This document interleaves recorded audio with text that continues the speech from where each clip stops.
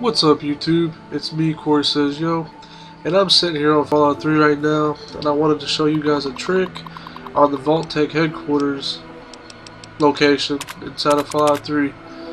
Apparently there's this glitch, and it's happened to me, where you, you approve all the terminals to gain security access to the mainframe door, and it just doesn't work. There's there's a glitch there, it just, the terminals aren't linking with some code or something, it's just not there's not connecting, you know, they're not connecting there. So I don't know how this problem occurs, but regardless, we have a solution here.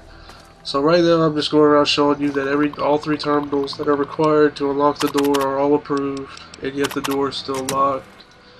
And uh, this this little you know solution will solve all of that. We won't have to sit around and even fool with these terminals at all, to be honest, because you could just you know, use this trick to begin with, you wouldn't even have to fool with anything. So, as it says here, you know, all you gotta do is unlock all three terminals, and uh, the mainframe door should be unlocked, but, you know, it's not working properly.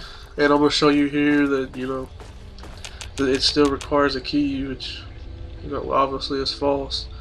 So, I'm gonna cut it here, and uh, we're gonna go back downstairs to the third terminal Alright, here we are. We're down here at the third terminal and uh, we're heading down to the bottom of the mainframe room. And as you can see, there's the mainframe. Now I'm going to show you here on the map where the location of the Vault-Tec headquarters is if you do not know. It is right here in the top of DC. You can travel to the metro right next to it there. And uh, it's right there. There's no travel to the metro or anything.